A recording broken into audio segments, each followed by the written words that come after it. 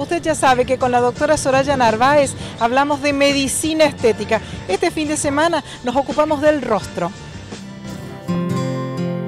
Vamos a hablar también de un tema de actualidad. Este, hace un par de semanas hemos visto una modelo sumamente conocida de la década de los 80 este, que aparece eh, con una crisis obsesiva que tiene que ver con la estética, con la anorexia, con el cuidado del cuerpo y el cuidado del rostro, pero cuando uno la ve en la foto realmente es una chica que era preciosa y está totalmente desfigurada, ¿sí?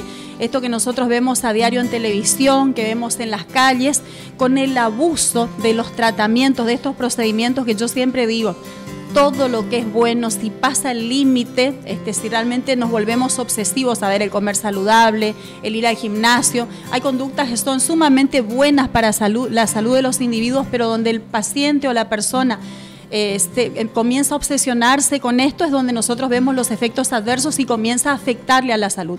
Pasa lo mismo en la estética. Este, hay una entidad nueva llamada esteticolemia que ha salido, que es justamente la obsesión por los tratamientos estéticos. Y uno lo ve a diario. ¿Y por qué quiero referirme a esto? Porque el paciente o las personas le tienen como un poco de miedo, como un poco de recelo a algunos tratamientos que tienen muy mala prensa por esto que uno ve, ah, insisto, a diario. Desmitifiquemos entonces. Los tratamientos son excelentes, nosotros tenemos este, un lema que es imitar la naturalidad. Eh, lo más difícil de imitar es lo natural y la verdad que uno se forma y muchísimo. Eh, hay determinados parámetros, lineamientos. Siempre digo yo, cual arquitecto, vemos un rostro, evaluamos, el paciente te puede pedir algo, pero uno va más allá.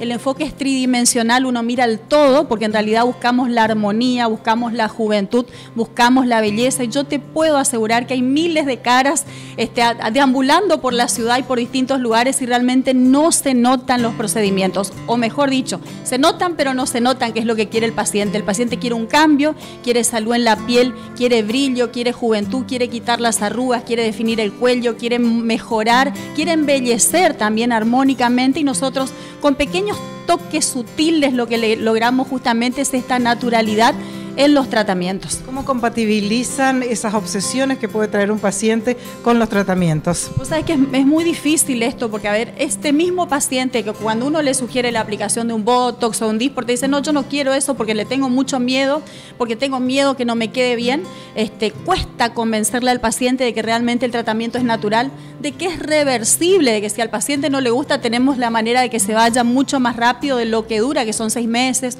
o un año, dependiendo del procedimiento pero ese mismo paciente, la verdad que nota los resultados tan nobles, tan excelentes, con un tratamiento poco invasivo, rápido, que no duele, que viene antes de tiempo. Entonces a mí me cuesta mucho más después tener que este, eh, hablar con el paciente y decirle, ¿sabe qué? Esperemos un poquito. O a veces esa obsesión hace de que el paciente no quiera una línea, una arruga en el rostro y muchas veces es preferible una línea porque nosotros lo que buscamos es justamente naturalidad. Pero esto queda a criterio del profesional, este, un profesional idóneo, un profesional responsable, un, profesional ético, este, va a frenarlo, va a contenerlo, va a guiarlo a ese paciente en el tratamiento. Esa también es nuestra tarea. A veces muchas y muchísimas veces decir que no también es parte del tratamiento.